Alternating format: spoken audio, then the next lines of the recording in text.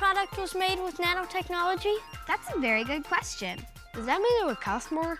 I think it's important for products that are used with nanotechnology to have labels. If a product had nanotechnology in it, I think I would definitely want to know.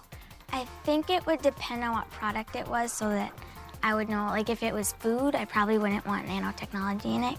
Yeah, it's more important to know if it's in your food because that actually goes in your body. But if it was something like sports equipment, I don't think I would mind. I think my dad's tennis racket's made out of carbon nanotubes. Could be cool to own something with nanotechnology in it. If they're putting nanotechnology out on the market, there should be a clear definition between what has nanotechnology and what doesn't.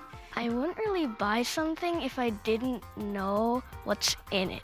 Hmm, I will have to think about that.